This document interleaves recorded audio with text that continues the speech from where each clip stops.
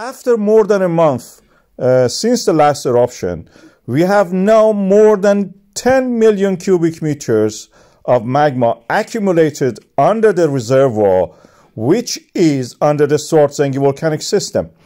Uh, but no eruption. We are seeing the magma has passed the threshold of 8 million, uh, which is the normal uh, amount of the magma for this uh, system. GPS data is now out of the chart practically. We don't have enough space to plot it. There is not enough earthquakes on the seismograms. And when we look at it, also there is not enough uh, earthquake at the depth, is not enough earthquakes to crush the rocks, make pathway for the magma to move and uh, transfer laterally from the reservoir toward the rift valley in the Sunnuka craters as what, as what are called Grindavik uh, Rift Valley.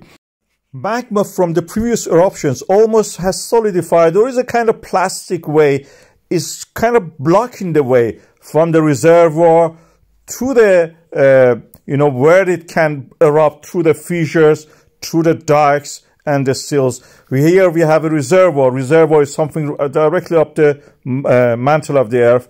Then through the vein systems that goes through the face of the fault lines, it can erupt.